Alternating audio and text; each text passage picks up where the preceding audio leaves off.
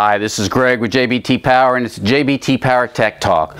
One of the big issues we have with any kind of small equipment is the fuel. A lot of people say, well, I have good fuel, but fuel goes bad very quickly. And the other problem we have with fuel is dirt getting into it. It doesn't take a lot because the carburetors on these small blowers and handheld trimmers and things like that are very small. And the bladders in them and the diaphragms are very small, so it doesn't take much. I want to give you an example of this right here. On this fuel tank right here, you can see how much dirt is around the fuel tank. Again, moisture gets there, uh, spilled gas gets there, and then you're out there generating the dust and dirt when you're blowing.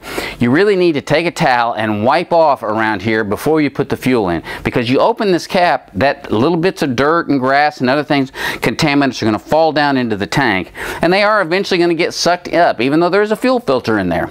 The other thing with things like blowers is the fuel filter is there at the very bottom of the tank. So if you get any kind of moisture or condensation or you try to do it while it's raining or it sits outside on a truck in the rain, that moisture is going to go down to the bottom. It's going to be the first thing that's sucked into your engine and your carburetor. So again, just some tip. Keep good fresh fuel. Uh, if you're not going to use it, use it in your lawnmower, or something with a bigger engine on it. Always clean off the gas cap before you put the fuel in and you'll have a lot longer life for your two cycle. This has been Greg Wood with JBT Power Tech Time.